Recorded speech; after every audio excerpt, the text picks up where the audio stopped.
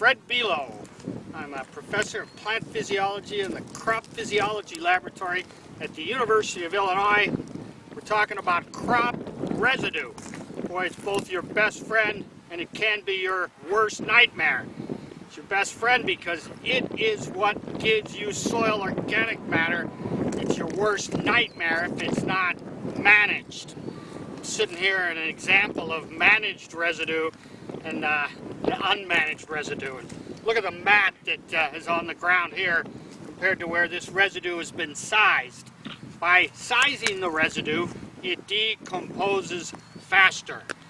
Especially important for corn residue and especially important if you're growing continuous corn or if you're in conservation tillage.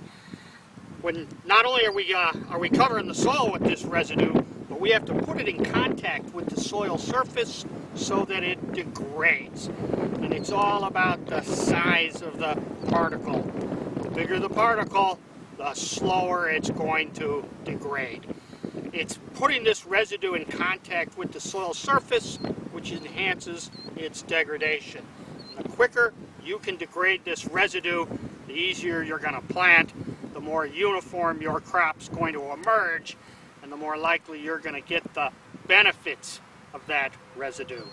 Now one of the big issues of residue is immobilization of nutrients, particularly nutrients like nitrogen.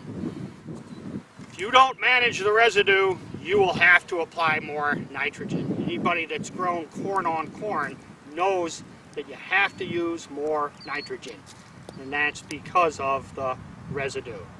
Now think about planting in a, in a mat of residue like this. You pull a piece of that residue into that planter trough and you're going to have less uniform emergence. You only have one time to get that crop off to a good start. And if you could manage the residue, have less of it when you plant, that's going to pay a big impact on uh, you getting the value of that seed. Think about high yield. The higher the yield, the more the residue. The higher the yield, to, to achieve it, the more plants you're going to have to plant. So as we increase plant populations and we increase yield, we're going to have more residue to manage. This is not an issue that will ultimately go away. It's a thing that you have to pay attention to to try and uh, not have it hurt you, but achieve the, its full value. Again, it's your best friend if you manage it.